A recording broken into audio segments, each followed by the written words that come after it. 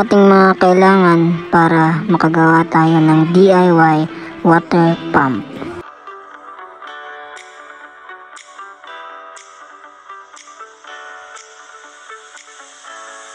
Ang mas pinaka-importante na materialis na ating gagawin sa DIY water pump.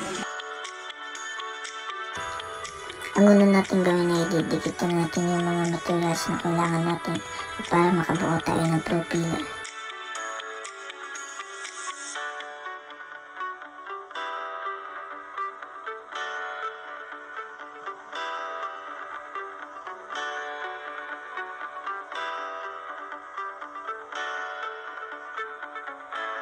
Ganyan ang mukha ng ating propiller. May tatlong bahagi siya. At i-make sure natin na hindi siya basta-basta nalalagas at padikitan natin siya ng maigi.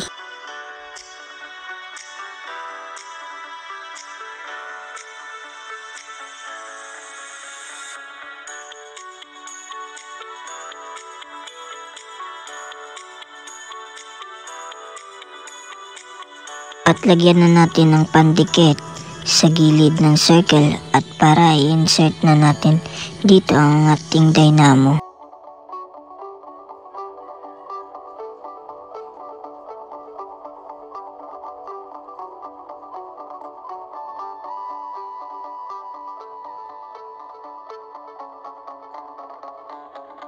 Katapos nating idikit ang dynamo at atin namang ipapasok ang propiller. Ididikit na natin ang ginawa nating pangtakip at make sure lang na walang makakalabas na tubig. Kailangan natin itong dikitan ng maigi.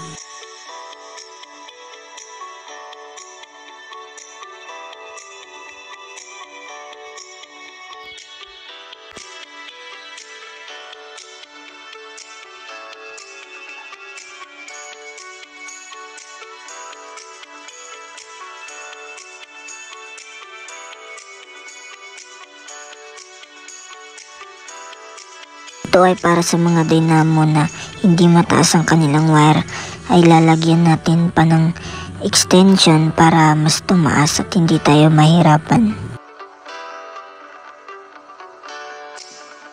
I-attach na natin ang ginawa nating butas para sa ating straw. Ito ay labasan ng ating tubig. Make sure sa lahat ng parte ng straw ay nadikitan para hindi lumabas ang ating tubig. Ang pangalawang straw natin na ating ididikit ay yung supply ng ating tubig. At iset up na natin ang ating mga gamit sa stable na lugar at para ito ay mas komportable tingnan.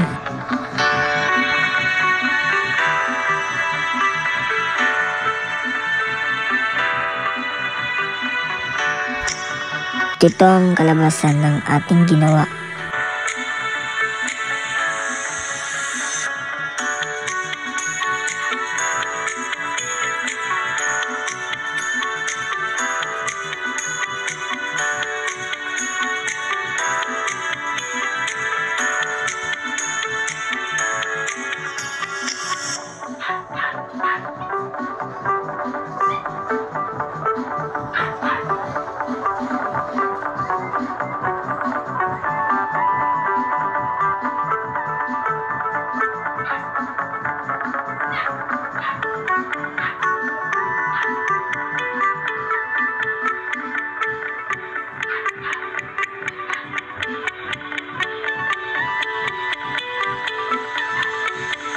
Salamat sa pagnonood nyo guys. Dito po nagtatapos ang ating DIY water pump capstone project.